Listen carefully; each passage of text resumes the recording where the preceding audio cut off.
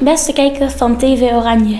Ik ben Christian van Veen, ik ben 14 jaar en heb net een nieuw album uitgebracht, Zomertijd. U kunt ook kijken op mijn site www.christianvanveen.nl